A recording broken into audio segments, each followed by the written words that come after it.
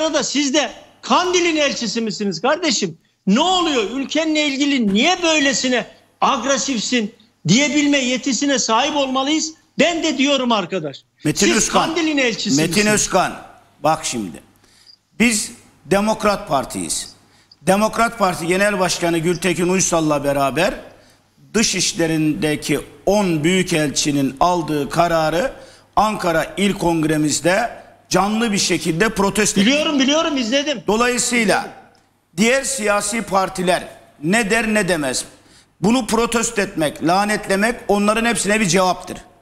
Her kim Türkiye Cumhuriyeti'nin dıştaki menfaatini, çıkarlarını kendi siyasi menfaatine uygun bir hale getirmeye çalışıyorsa yazıklar olsun ona. Eyvallah. Öyle şey Eyvallah. olmaz. Ama ben senden şunu rica ediyorum. Bir kardeşim var sever, seni seven biri. Ya her işte şu kandile girme ya. Sağlı solluda da her akşam kandilin tetikçisi diyorsun. Kandilci. Doğru. Ya adamlar Kandil'in şu... tetikçiliğini yapan kim varsa söylerim Cemal Bey. Bu benim Ya üslubum. bak ben de diyorum ki... Bunu hoşuna giden Bak, dinler, hoşuna gitmeyen Bak herkesi bir dönem ben de senin gibiydim Metinciğim. Yarın öbür gün sen de böyle zincirleri kırdığın zaman benim gibi düşünmeye başlayacaksın. Öne engelene PKK'lı deme, kandilci deme. Emin ol bunların da çoğu vatansever insanlar, devletini, milletini, Yok, bayrağını yok. seven insanlar, bildi- Atatürk'ü seven insanlara- insanlar. Hayır bildiklerine söyle. İnsanlara kandilciye kandil derim. Ona de, derim. ona de ama hep topyekun Ben- bazen benim böyle onlar. zillet ittifakı, illet ittifakı bilmem Benim ne diyerek. ağzımdan hiçbir zaman zillet ittifakı. Ha işte yani bunları söylemeyelim. Abi ben burada farklı bir yere geleceğim Keremciğim. Buyurun. Tamam Bakın. ama bak Cemal Bey, Cemal Bey. Bak bak Cemal Bey. Ben ne konuştuğunu bilen 30 yıllık deneyimli bir gazeteciyim. Ben çakala çakal, kurda kurt derim. Bundan da çekinmem. Bir Bu Allah'ın kulundan senin da bakışında menfaat beklentim yok. Senin senin Allah'ın bakışında da eyvallahım yok. senin bakışında Ama- çakal çakal oluyor, kurt kurt oluyor.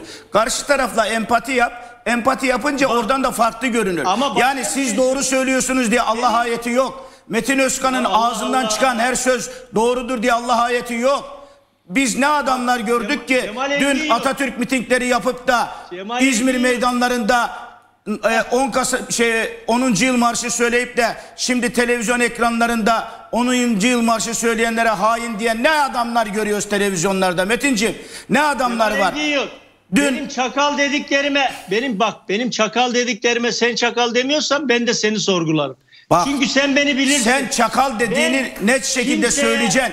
Haksız Çakal yere- kime diyorsan bak çak, PKK'lıya çakal diyorsan çakal diyeceksin PKK'lıya. Adını Eyvallah. söyleyeceksin.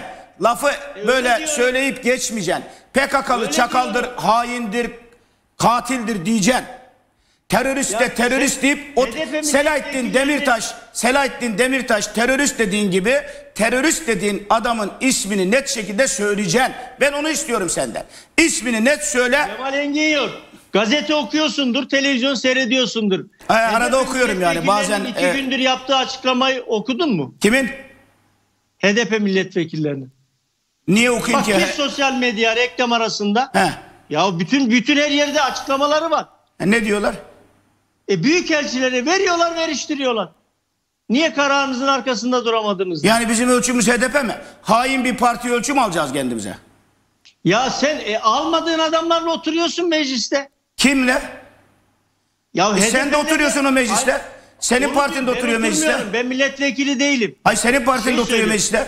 Ya işte lafa geldi mi deniliyor ki HDP'yi kapatmayın. HDP ile aynı genel kurulda oturuyorsunuz. E AK Parti Şimdi- Genel Başkanı da diyor her zaman parti kapatmak doğru değildir diye. Numan Kurtulmuş da diyor her zaman parti kapatmak doğru değildir diye. Ömer Çelik de Ya diyor ama- her zaman parti kapatmak doğru değildir diye. Mahir Ünal da diyor, Bülent Turan da diyor her zaman. ne? Ya Aa, beni şimdi sana ne oldu? ki. Ben diyorum ki terör propagandası yapan siyasi parti kapatılsın. Tabii Metin kapatılsın. Özkan olarak ben söylüyorum ben. E ben de Başka Cemal kapatılsın. olarak söylüyorum. Demokrat Parti milletvekili Tamam. olarak söylüyorum. Dolayısıyla Ama ama benim kime ne nasıl hitap edeceğimi de söyleme. Teröriste terörist derim. Çakala da çakal derim. Demagoji yapma Metinciğim. Demagoji yapma. Seni ben yapan, bak Metinciğim seni iyi tanırım. Ben seni iyi derim. tanırım. Sen de beni iyi tanırsın. Ben sana lafına müdahale etmek, kime ne söyleyeceğini söylemek anlamında demiyorum. Delikanlı gibi ismini söyle diyorum. Ben delikanlı Adını söyle. diyorum, diyorum. De ki şu de. HDP. Herkesi töhmet altında bırakma. Bütün muhalefeti töhmet altında bırakma. kim HDP ile bir oluyorsa Allah onun belasını versin. Kim HDP ile siyaset yapıyorsa onunla yapmayı düşünüyorsa yazıklar olsun. Ben Demokrat Parti olarak Sayın Genel Başkanımız Gültekin Uysal'la diyoruz ki HDP ile cennete bile girmeyi Allah nasip etmesin diyoruz. Dolayısıyla sen muhalefet dediğinde ben de muhalefet olduğum için bundan alınganlık gör- gör- görüyorum Cemal ve seni de uyarıyorum. Diyorum ki Metin muhalefet derken bunun ismini söyle diyorum sana. Bunda ne var? Engin. Bunda ne Cemal var Engin bunda? Cemal Engin Yurt. Senin Metin Özkan, Metin şey Özkan, söyleyeyim söyle. mi? He? Diyorum ki bak Cemal Engin Yurt'u bilirim, tanırım. Sen benim ülküdaşımsın ya. Evet. Anladın mı? Yani biz şimdi Şimdi Aa, seni de ülküdaşlık hukukuyla ya Metinciğim bu e, toptan bir tanımlama yaparken ismiyle yap demek sana işini öğretmek mi oluyor? Cemal Ben de muhalefetim diyorum. Beni oraya katma diyorum. Ya sen gerçekten bak bu fevri konuşmalarına karşı konuşturmama huyunla hiç dinlemiyorsun.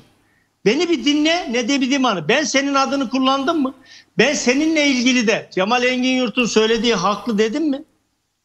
Ama Toptan muhalefet bak- tanımına itiraz bir ediyor. Gazeteci olarak kulis. Şimdi bak.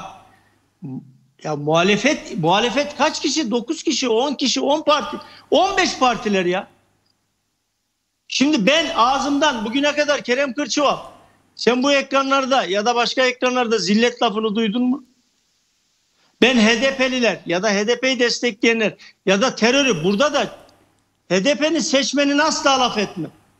Türkiye'de ilk defa bu cümleyi ben kullandım. HDP'nin seçmenini toptan terör örgütü destekçisi diye gösteren alçaktır dedim. Bunu söyleyecek bir ülkücü milliyetçi yürekli var mı? Ya bir dakika